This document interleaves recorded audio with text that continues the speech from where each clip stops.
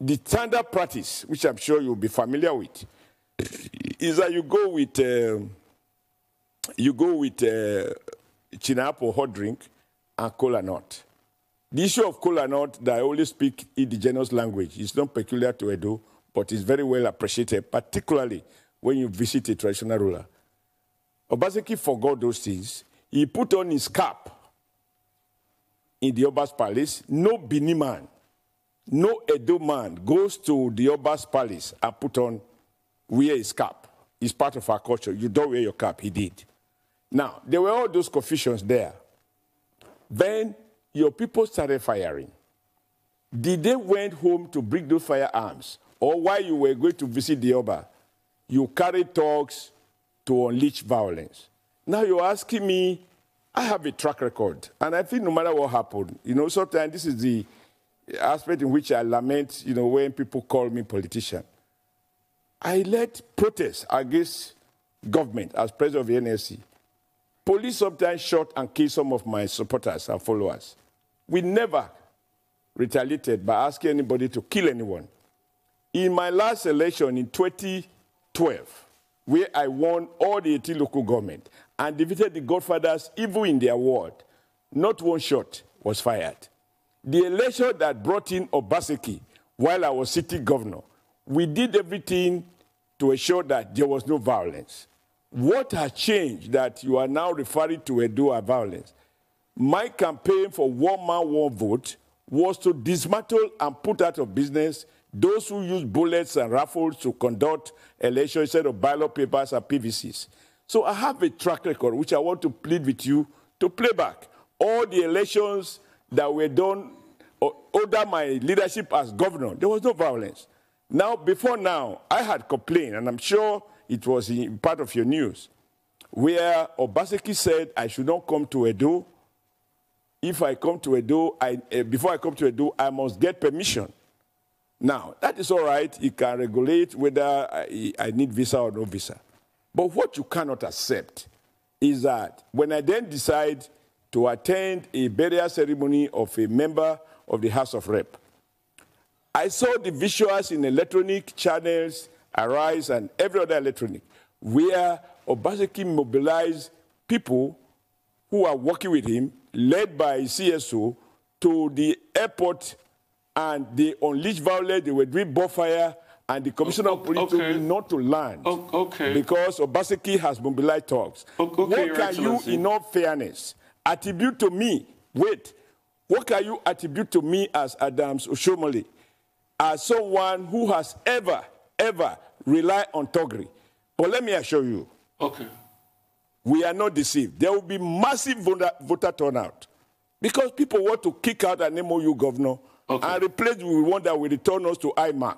Okay. We said, don't believe them until you have seen it. Okay. So all this one, yesterday he spoke, and Reuben, you are the most outstanding, and I'm not flattering you. You know my views about you. You know what we could have done together, but for political tea that I find myself in. I have a lot of respect for you. Watch the statement on Channel Television last night. I'm not sure I saw it on Arise. The governor said, and play it back, he said, I'm the governor. Between me and my deputy, we are the only people, two persons in this state who have immunity. We can do anything. And now we show anybody that I'm the governor. I will arrest anybody who do X, Y, Z. Okay. He didn't say he will report to police, so he is above the law. Okay. Now, uh, when okay. a man says, and he went on, if they want violence, no, listen, if they want violence, we will give them violence. A leader don't talk like that. All he should say is that those merchants of violence, I'm pleading with them, whether they are in my party or they are in another party, they should take it easy. Okay.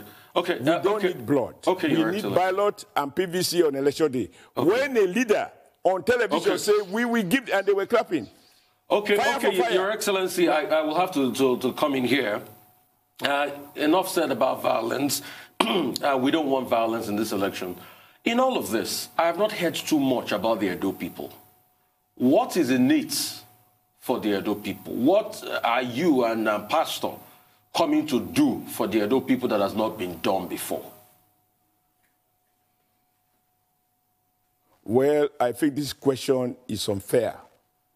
I am not seeking election. Okay, what, what is Pastor Ize-Iyamu going to ballot. do? Uh, wait, wait. Yeah, because you are indirectly trying to make me the issue. I'm not the issue. I have a right, like you have a right, though not your, not through an institution of the media, as a Nigerian, to have a preference. I have expressed my preference. Now, you should ask me what I think this person will do. To say what two of us will do is to mislead the public into thinking we are going to have two governors. There's only one governor. And we have, we have explained the, the gentleman, Pastor Iyamu, on his own, even without any consultation with anybody. And this is the truth. Even me, I never saw have any discussion with him. But he has lived in that state, and he has come up with what he called simple agenda. He has presented it by himself to the Edo public. He has explained to it what it represents, and he has spoken to how he will get it done. On the contrary, on the contrary, I also want you to play back Obaseki's speech during the day he flagged off. He said, I'm going to come out with my programs later. Now, gentlemen, do you launch campaign first before you tell the people what you will do later? He only say he will take Edo, will make Edo industrial hub, magical transformation without asking the question how. How is the most important thing Nigeria politician must be compelled to address. Don't tell us you are going to create air condition on our federal highways and local highways without telling us how you are going to how you are going to get it done and how you are going to fund Uh, it. comrade, let's Play move- back, and this is important, that Obaseki as a city governor launched his second term campaign, and on that day he said, I will later come out with my program. Which one should come first? Well, comrade, let's move beyond the So, Edo on the basis of, of uh, uh, the simple agenda of Pastor Ize-Iyamu, it answers the question that you are talking about. Well- and please, this election, I am not a candidate, and I'm not doing anything outside the ordinary. If somebody can come from Port Harcourt and, and support and endorse Obaseki, somebody can come from Delta and endorse Obaseki. Somebody can come from uh, other part of the states, or of, uh, in different states, from Sokoto and endorse Obaseki, without even saying what they will do. All they were talking that day was Oshiomhole Godfather, Oshiomhole Godfather. Now, none of them spoke to the issues that matters to the people, namely, will you build more schools for our children? I'm very proud, uh, uh, my comrades on the on the Arise. Before I became the governor of Edo State, Edo used to be notorious for exam cancellations in WAEC. Sometimes 30,000, 40,000 cancelled. We changed those guys out of Edo State. Edo become a place where you, you pay and get the marks you want. By the time I left, from a position of about 26 on the ladder, we came down to three. The third position in, uh, in uh, WAEC and second position in NECO. Those shows that our investment in education was working. Pastor spoke at a forum that they will build more schools, more primary schools, more secondary schools, because the basis for upward mobility and sustainable development is skill acquisition. You cannot skill a man who does not have who does not have basic education. So I believe that he understands what the challenges are. He lives in the state. He's not uh, like Obaseki who came from Lagos to be to do what he did and he's going to go back to Lagos by the grace of God on uh, November 12th. Well, comrade, two Uh, quick reactions his, from uh, our viewers. Which, in any case, as I know now, even that one collapsed. Comrade. He was bankrupt. Comrade, if I may uh, come in here, two quick reactions from our viewers. Uh, someone uh, sent in a message saying, well, you can't say you know Ize-Iyamu based on what you were told about him. That he had been uh, chief of staff, he was also at the point SSG, and that he was the director of your director general of your campaign uh, during your second bid for office. And that that's not a person you will say you were relying on other people's comments to assess at that time. And that secondly, it's been a few weeks uh, since uh, you left office as uh, chairman of the ruling party, the All Progressives Congress. When you look back now, are there things that you will have done differently?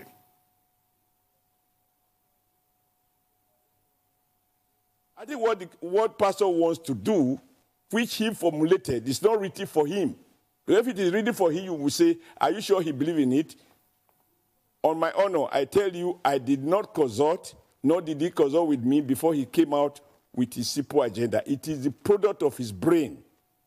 Having lived in the state and having been part of APC and having worked with me before he left, he is familiar with the challenges.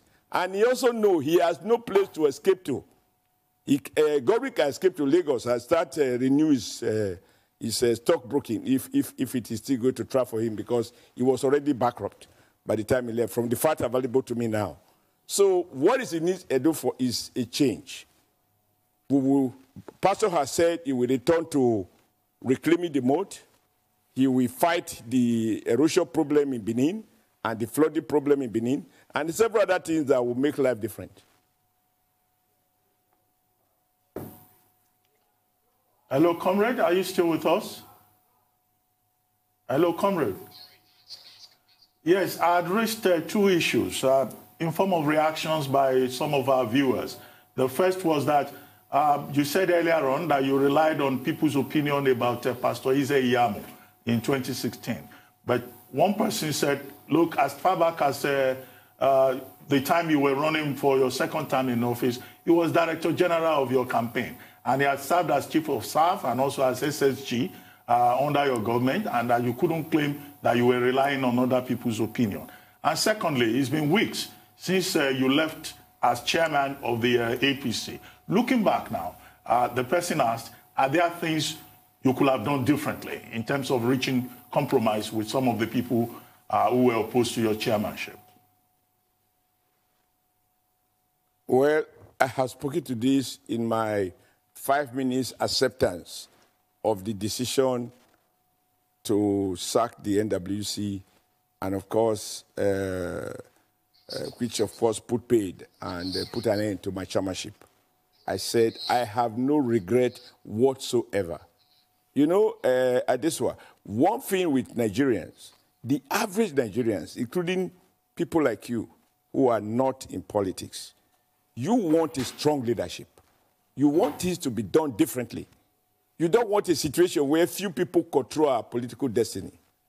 Now, in trying to democratize and return the party to the party members, then you have powerful forces, few in number, but access to resources. Who will resist that? Whether anybody appreciates it or not, between President Muhammadu Buhari and myself, we agreed that we must return APC to APC members. And that is why we introduce direct primaries. We produce a membership register. And of course, there were people who were opposed to direct primaries. As a compromise, and this is something I couldn't really speak to, people say, how can you have direct and indirect? Because at the end of the day, some governors say they want uh, indirect.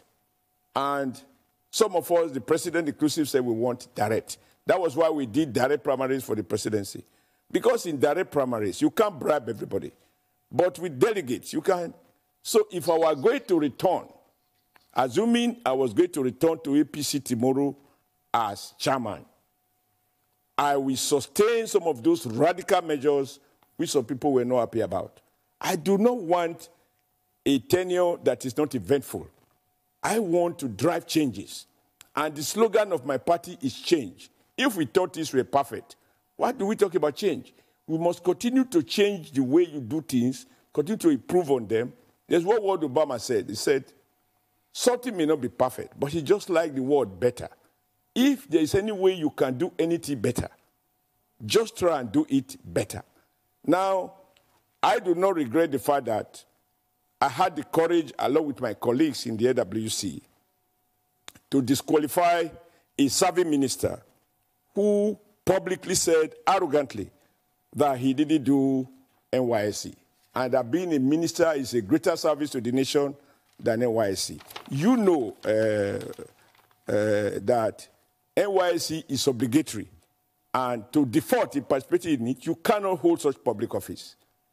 I am also happy that a governor said to me he is not going to do primaries.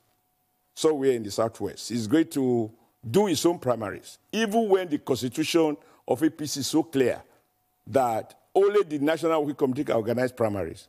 He went and did his own primaries, announced it by himself. We did our primaries, and I insisted it's only the one we did in line with the constitution of APC that will be upheld, regardless of the power behind the other guy.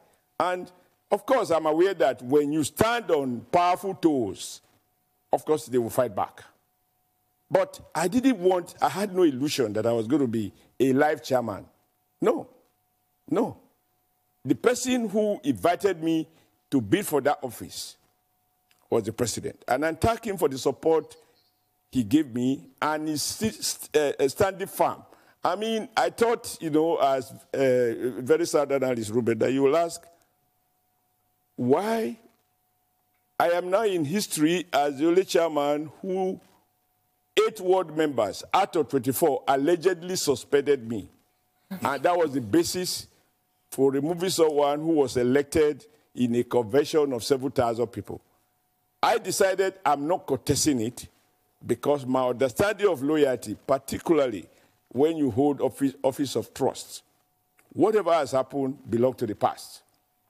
And I can't do things differently. Some people say, you know, when you occupy this office. I've, I've seen some analysts say, Company ought to know that social people are powerful, uh, social governors are powerful. How can you do what?